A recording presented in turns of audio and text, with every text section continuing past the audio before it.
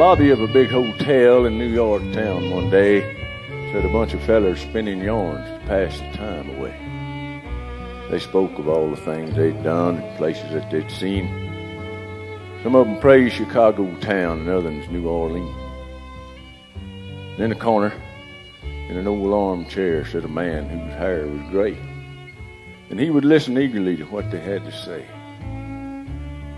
They asked him where he'd like to be. Heard that old voice ring. I'd like to be in Texas for the roundup in the spring. They all sat still and listened to every word he had to say. They knew that feller sitting there had once been wild and gay. So they asked him for a story about his life out on the plains. He slowly removed his hat, quietly began. I seen seen 'em stampede over them hills till you think they'd never stop.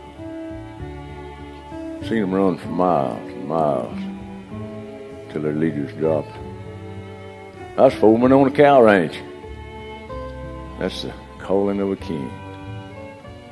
I'd like to be in Texas for the roundup in the spring.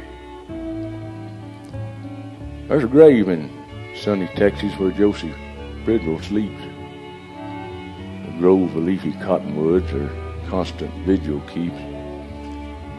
In my heart there's recollections of them carefree bygone days when we rode the range together like two skipping kids at play. Her gentle voice would call me in the watches of the night. I hear her laughter freshen in the dew of early light. The fever took my darling on the day we was to wed and left her cold and lifeless by the crossing on the red.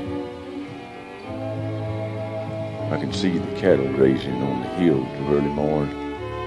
See the campfire smoking at the breaking of the dawn. I hear some cows neighing and I can hear the night guard sing.